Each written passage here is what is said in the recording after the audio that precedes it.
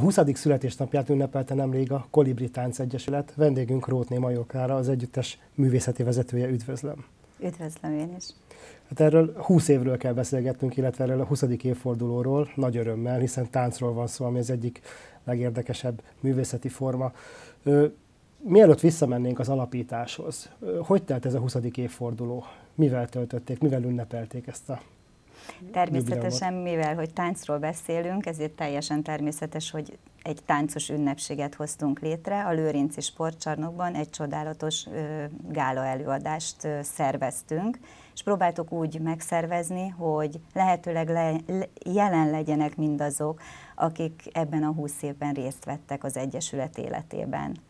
Úgy tudom, hogy a táncos esemény mellett egy, egy másik művészeti ágat is bevontak, és ezzel is ünnepelték ezt a jubileumot, egy kiállításról van szó. Ugye? Így van, így van.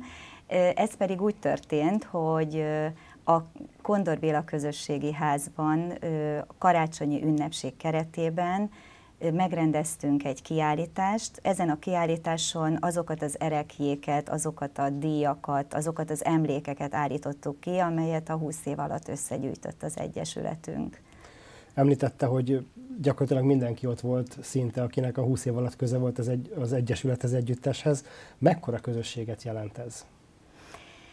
Na nagyon őszinte akarok lenni, akkor, akkor azt mondom, hogy ez egy nagyon nagy közösség, de természetesen, hogy ki mit nevez nagy közösségnek, az megint egy, egy nagyon szubjektív megítéléstől függ. Én, én mindenképpen arra törekedtem, hogy úgy ünnepeljük meg a húsz évünket, hogy, hogy mindazokat, akik, akik részt vettek ebben a húsz évben, a szülőket, a növendékeket, vagy a növendékeknek a gyerekeit, vagy, vagy akár a nagyszülőket, a, ők ott legyenek. És én azért voltam nagyon boldog, mert amikor ott körbenéztem, akkor azt tapasztaltam, hogy ez sikerült. Tényleg aki tehette, még külföldről is hazajöttek régi táncosok, és elhozták a szülőket, elhozták a nagyszülőket, eljöttek azok az emberek, akik iskolaigazgatóként, vagy valamilyen intézmény igazgatójaként segítettek minket, akár 20 évvel ezelőtt, akár a megalakulásunk alkalmával. Úgyhogy én ezt, én ezt akkor nagyon nagy dolognak tartottam, hogy egy ilyen közösséget össze lehetett hozni, és ami, ami számomra még nagyobb dolog volt, hogy én úgy éreztem, hogy, hogy ennek nincs vége, hogy ez a közösség ez volt, és, és ez azóta is van és létezik. Az Egyesület tevékenysége jóval túlmutat a kerület határain. Önök mégis az elmúlt húsz évben végig kitartottak, és kerületi egyesületként működtek. Miért tartottak ki emellett ilyen következetesen? Hát ide, itt alakultunk meg, kialakítottunk egy nagyon szép termet, amiben azóta is dolgozunk, és én nagyon megszerettem ezt a kerületet. Tehát Most lehet, ez hogy ez hol kicsit... ez a terem, ezt említsük meg, mert ez fontos lehet. Igen, a Csontvári Általános Iskolában, amikor ez a terem, ezt a termet létrehoztuk, akkor még Kondor Béla Általános Iskolának hívták, most már Csontvári Általános Iskola, és az akkori igazgató ötlete volt, hogy, hogy az akkori rajzteremből tulajdonképpen egy csodálatos tánctermet lehet megalkotni, ez akkor meg is történt. És akkor még egyszer megismételném, hogy én nagyon megszerettem a kerületet, és lehet, hogy ez kicsit ilyen patetikusan hangzik, de mégis így van. Én szeretem ezt a kerületet, nagyon sok embert ismerek ebben a kerületben, ugye az évek alatt nagyon sok ismerettségre tesz szert. Itt most gondolok arra, hogy elkezdtek hozzám járni gyerekek, ők hozták a szüleiket, azokkal az emberekkel megismerkedtem, teltek az évek, figyelemmel kísértem az életüket. Azok a gyerekek megnőttek, hozták a saját gyerekeiket, úgyhogy én néha már ilyen nagymamának érzem magam, mert a volt tanítványaim hozzák a, a, a gyerekeiket hozzám táncolni, és én úgy gondolom, hogy egy pedagógus életében az tényleg egy nagy dolog, amikor végig tud kísérni egy növendéket gyerekkortól egészen a felnőtt korosztályig most pörgessük vissza egy kicsit az időkerekét, és nézzük meg, hogy mi történt, mi történt az alapításkor. Tehát mi, hoz, mi hívta életre ezt az egyesületet, milyen célokkal alakult meg 20 évvel ezelőtt? Igen, ez egy nagyon érdekes dolog, hiszen én ide a kerületbe akkor kerültem, amikor frissen végzett főiskolásként tanítónéni lettem és a Csontvári általános iskolába kezdtem el tanítani. Én akkor azt gondoltam, hogy az én pályám, az én pályafutásom majd, majd egy lelkes tanítónéniként fog zajlani.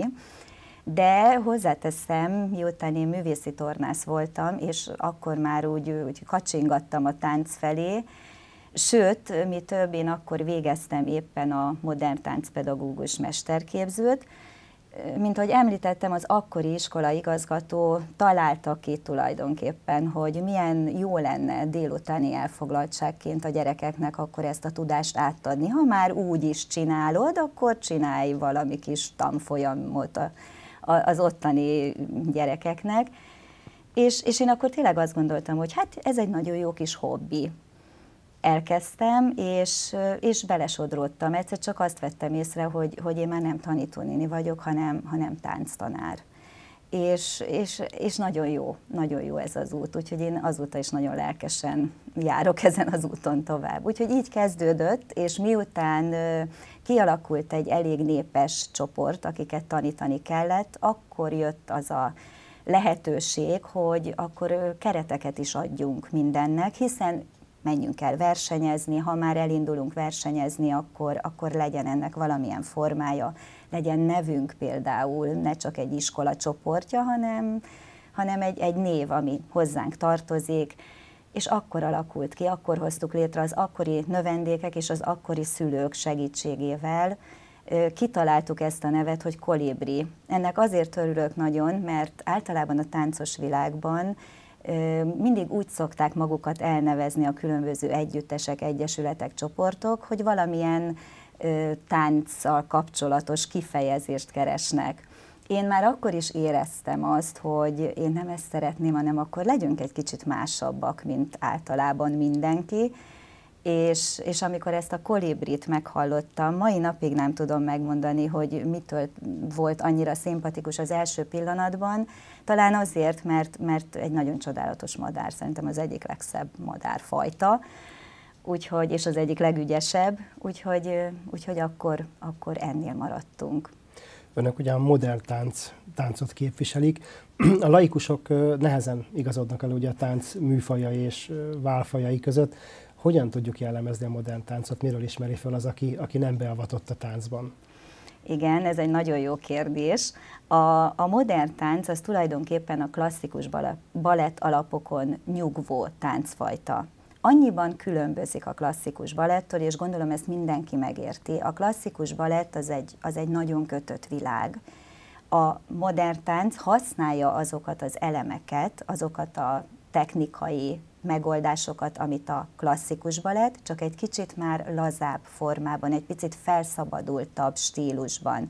Tehát nem használjuk már a spiccipőt, nem használjuk a tütőt, hanem helyette egy kicsit lazább ruhát vesz föl a táncos, esetleg mezitláb táncol, és a testével is sokkal szabadabban bánhat, mint amennyire ugye a klasszikus balett stílus ezt megengedi. De nagyon-nagyon szorosan kötődik a baletthoz, hiszen azokat az ugrásokat, azokat a forgásokat, tehát azokat a stílus elemeket használjuk, mely a klasszikus balettben adott.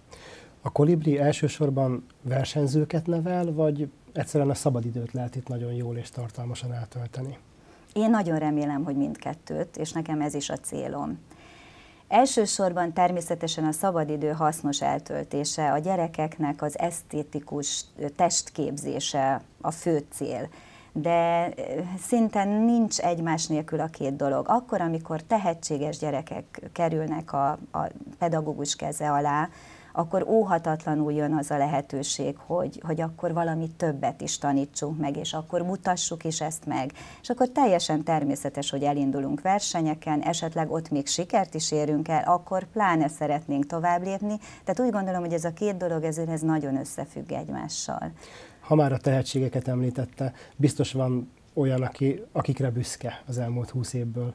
Említenek közülük olyat, aki esetleg kiugrik így Ezt én nagyon-nagyon szívesen megteszem, és ugyan nagyon nehéz dolgom van, és ezt tényleg nagyon őszintén mondom, hiszen számos olyan növendékem van, akire méltán lehetek büszke, és büszke is vagyok. Hozzáteszem, mindegyikre büszke vagyok, de valóban vannak köztük olyanok, akik ezen a pályán helyezkednek el később, és még nem csak, hogy elhelyezkednek, hanem nagyon kiemelkedő eredményeket is érnek el.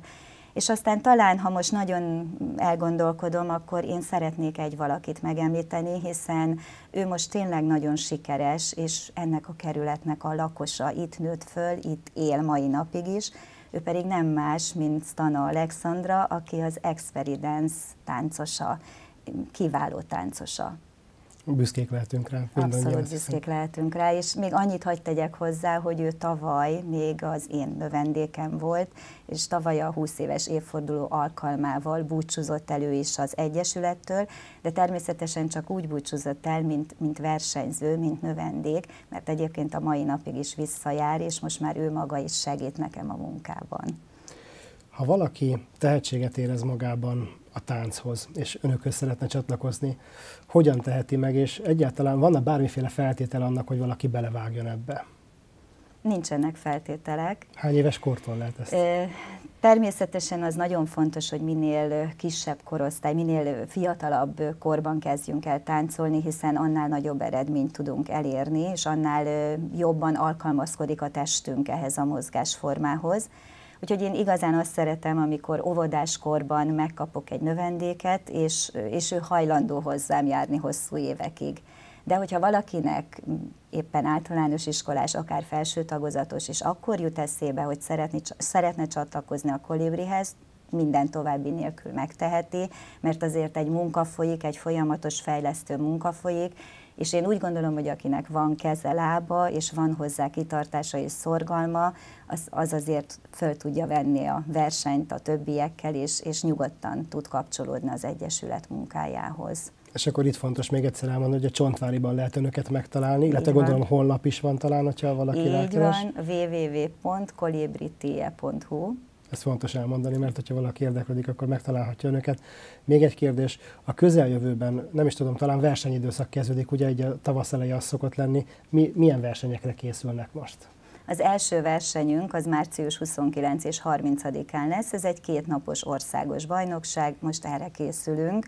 Készen vannak az új koreográfiáink, most készítjük hozzá különböző tánckosztümüket, még készülő félben vagyunk, nem vagyunk teljesen készen, de, de jó, jó úton haladunk, természetesen van még egy rövid időnk, úgyhogy ez az, ez, a, ez az igazi nagy megmérettetés, ami most előttünk áll.